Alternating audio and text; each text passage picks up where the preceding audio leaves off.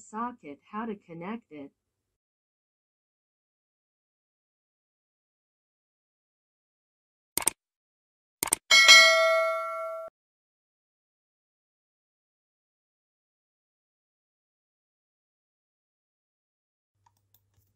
A cooker socket is just an easy means of switching the appliance off in case of emergency and is therefore normally installed in an accessible location within a set distance from the appliance.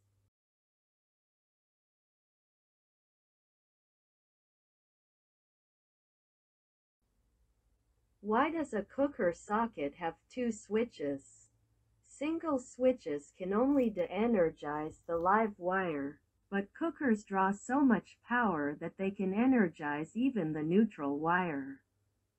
Double pole switches, on the other hand, shut both wires off for complete safety.